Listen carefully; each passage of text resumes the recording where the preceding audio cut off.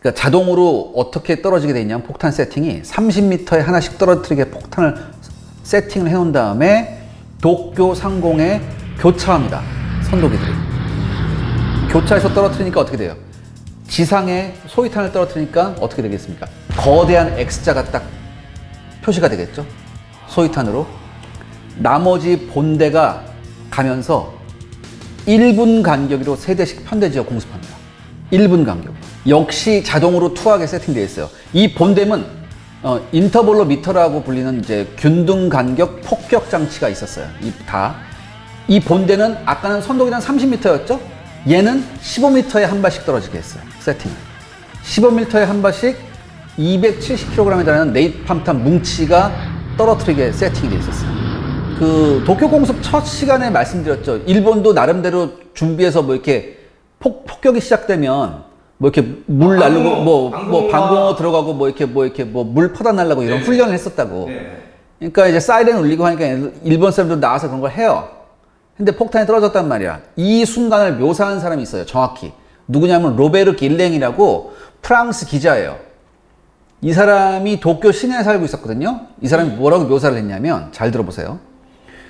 주민들은 영웅적으로 명령에 따라 자기 집을 지키고 있었다.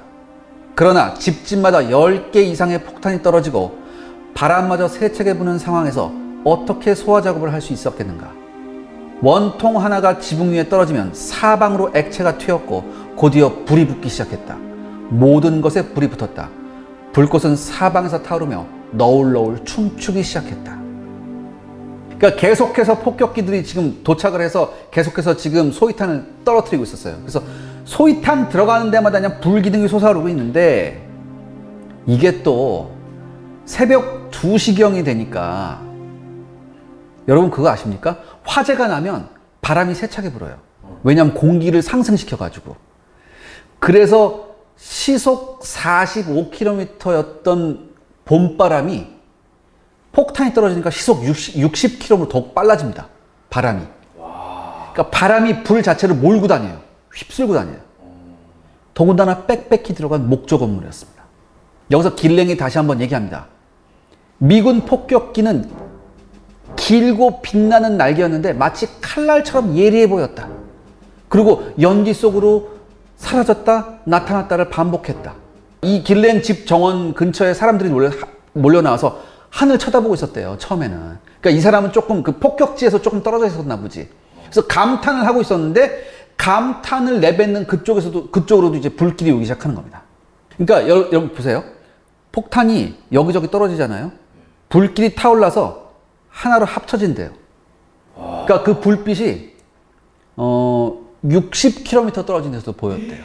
왜냐 이걸 누가 증언하냐면은 뒤따라오던 폭격기 그 폭격수들이 60km 아직 도쿄 상공 우리가 목표 지역까 60km가 남았는데 훤히 볼 수 있었대요. 늦게 진입한 B19 이제 승무원들의 증언이 있습니다. 네.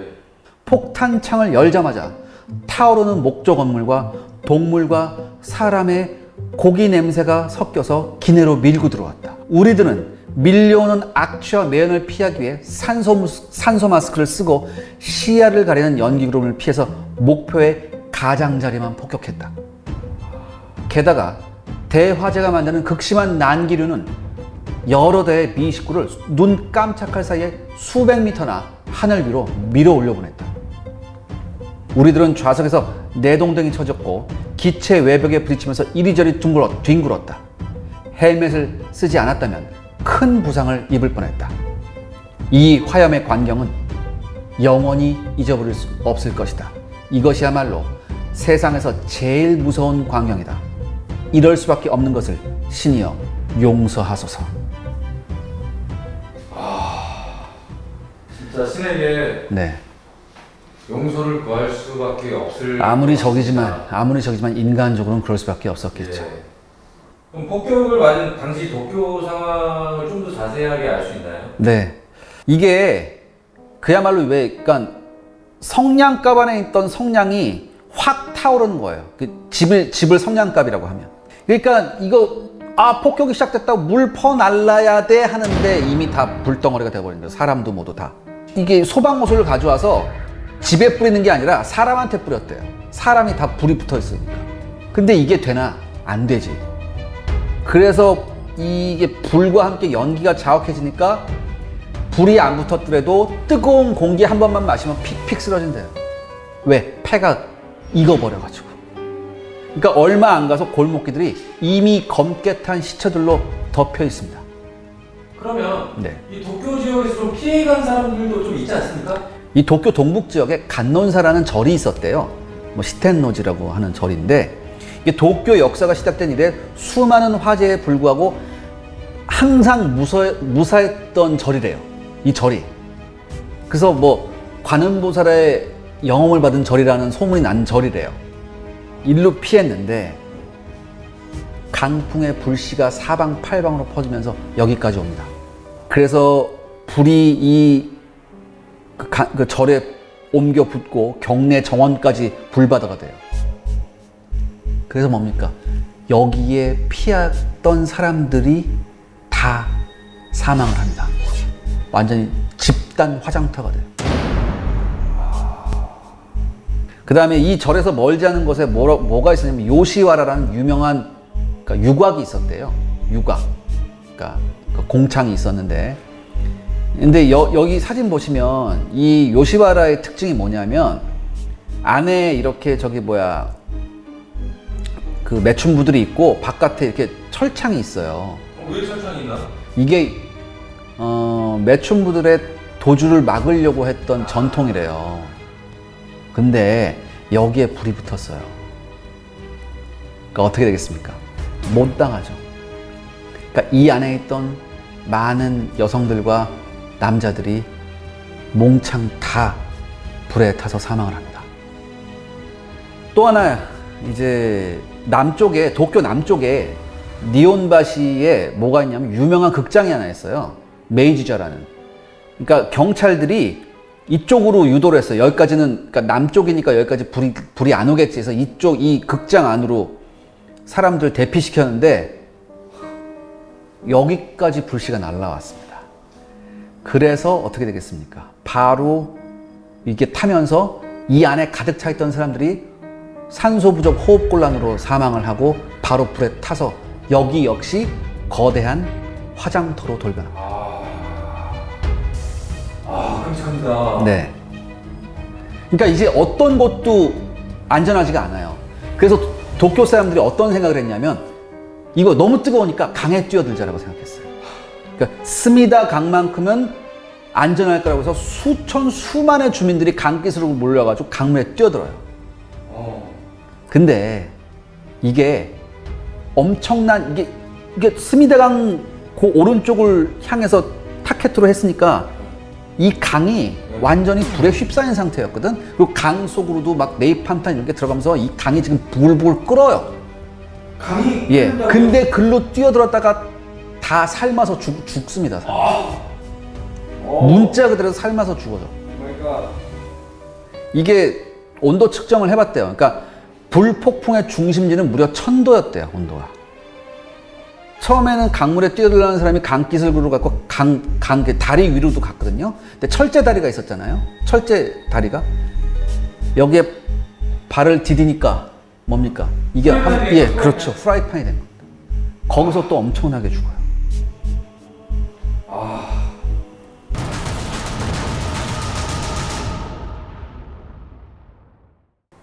참혹합니다. 아, 이건 참혹하죠. 그러니까 전쟁이란 건 참혹한데 시간이 지나면 지날수록 민간인의 피해가 많아지면서 전쟁, 전쟁의 참혹함은 두 배, 세 배가 되죠.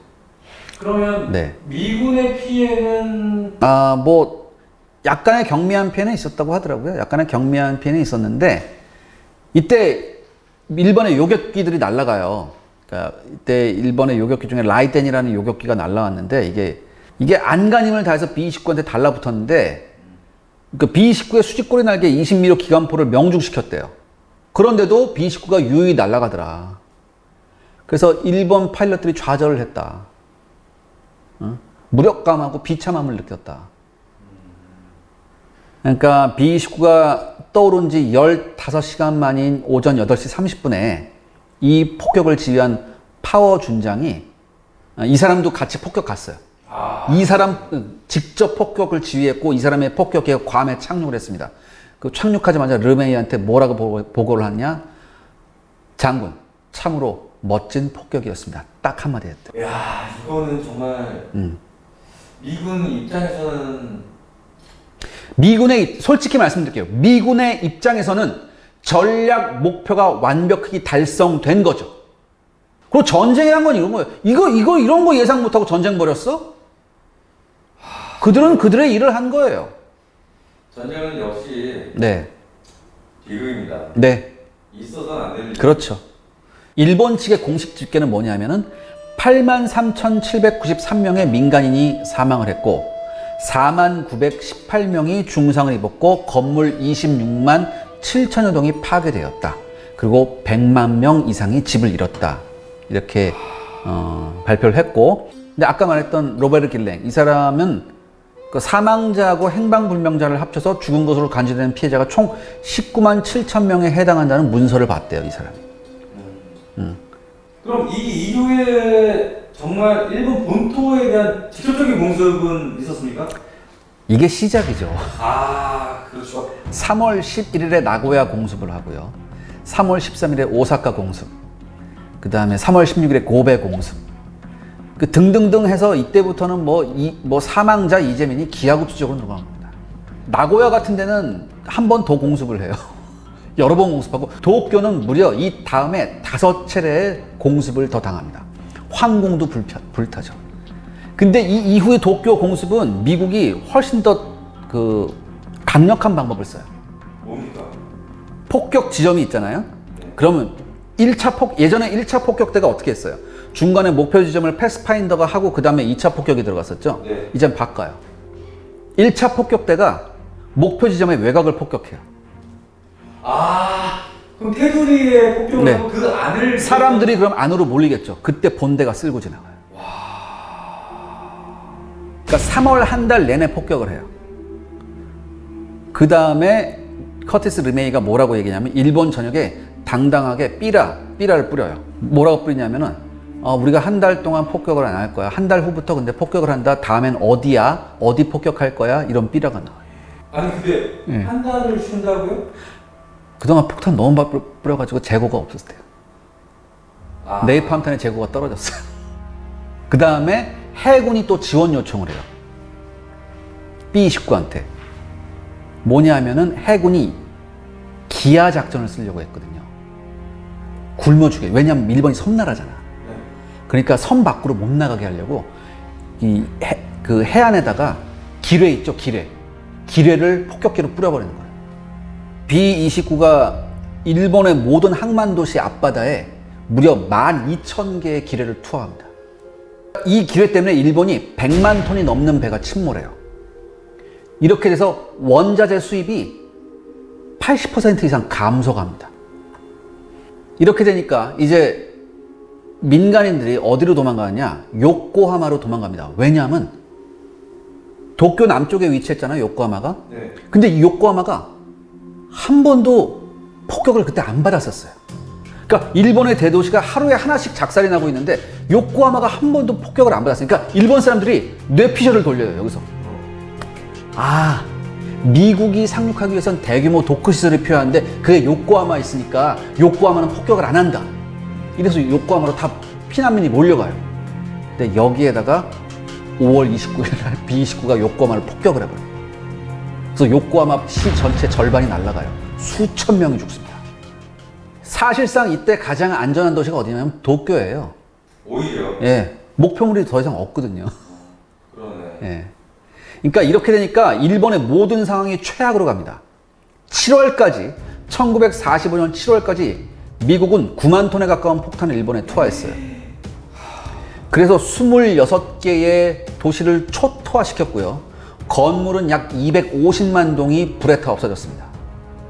이렇게 되니까 일본 산업계의 총 생산량이 1944년에 총 최고 생산량의 40% 수준으로 떨어집니다. 석탄 생산량은 반으로 줄었고 석유 정유량은 15% 수준으로 떨어져요. 그 다음에 전쟁 수행에 필수적인 군수품 생산 능력은 더 참담합니다. 항공기 엔진 생산은 25% 수준으로 떨어지고요. 포와 화약의 생산량은 45% 수준으로 떨어집니다. 그리고 항공기 생산에 가장 필수적인 게 뭐냐면 알루미늄이거든요. 경량하는 알루미늄. 이거는 무려 9% 수준으로 떨어집니다. 민간인 피해는 더 참담했어요. 7월까지 약 50만 명의 일본인이 폭격으로 사망했어요. 이것도 대, 이것도 아주 축소한 수치입니다. 1,300만 명의 집을 잃었고요. 근데 이 통계가 왜 정확하지 않은 통계냐? 집을 잃은 사람들이 결핵이나 영양실 쪽은 다른 질병으로 죽잖아요. 이게 훨씬 많았거든요. 이거는 통계에서 빠져 있어요. 단적인 얘기가 뭐냐면 전쟁 전인 1940년에 도쿄 인구가 400만 명이었거든요.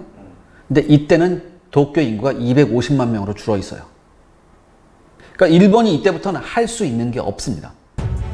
그냥 도쿄를 떠나서 다른 곳으로 가는 사람한테 무료 승차권 주는 게 도쿄 정부가 할 수 있었던, 그러니까 일본 정부가 할 수 있었던 전부였습니다.